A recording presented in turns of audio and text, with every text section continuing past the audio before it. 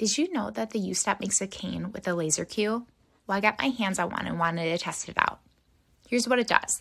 The laser projects the line on the floor only when the cane touches down. It's designed as a visual cue to help reduce freezing of gait in people with Parkinson's. Now remember, in Parkinson's, dopamine loss means that the basal ganglia can't drive automatic movements properly, so steps can become small and not fluid.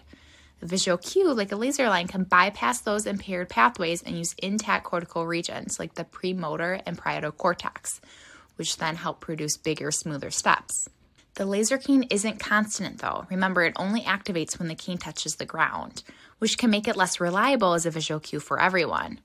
But it can be helpful for those who have primarily unilateral involvement, where the affected leg contributes to the freezing. So then in these cases, the laser provides an external visual cue that coincides exactly when that leg is preparing to step, which helps with movement initiation. We have to remember that strategies to reduce freezing are highly person specific.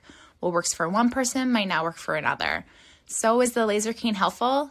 Yeah, I think for the right individual, it can be a great option.